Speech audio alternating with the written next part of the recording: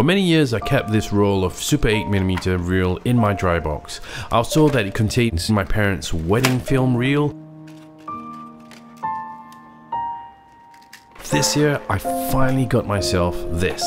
It's the Wolverine 8mm film scanner and I was determined that I will digitize my parents' wedding video once and for all. I bought the machine from B&H and it took about a week or so to arrive. When it finally arrived, I was super thrilled. And I got straight to figuring out how to use the scanning machine. It was pretty straightforward and I have to say this is one of the easiest machines I've ever used straight out of the box. Using it was pretty much straightforward as there were diagrams on the machine itself so I just had to line things up according to what the diagram had on the machine itself. So yeah, I'm glad that it wasn't super difficult to use.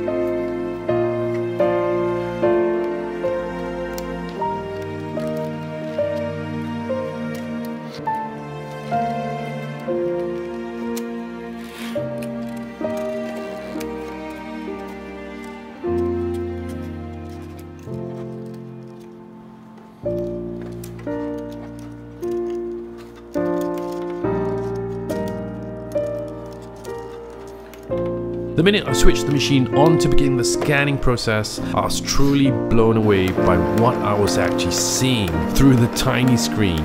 This was actually the first time anyone at all has seen anything on this film reel. I would say easily 20, 30 or even 40 years. So I have to admit, a great sense of pride and responsibility did come rushing in inside of me. Anyway, this is what I managed to see. Anyway, at the beginning, I didn't see anything that looked even close to a wedding reel, but fortunately I waited through and finally I got to what I really was looking for. And here it is. I hope you guys enjoy it.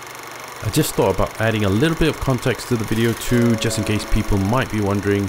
At the time, my father and my mother got married. My father was still studying law and he was still a student in England and that's why the wedding was actually in England and it's just a small ceremony that they had after he flew back to England but he actually got married here in Malaysia but they had a small ceremony over there. And it was actually attended by the first Prime Minister of Malaysia Tunku Abdul Rahman. So yeah thought of giving you guys that context so that you guys would wouldn't feel too lost looking at the video. And I'm really glad that I managed to scan the reel in time because actually the reel is really deteriorating very very rapidly. So I'm really fortunate that I can still see things in the actual reel itself. But yeah, really lucky and just in time.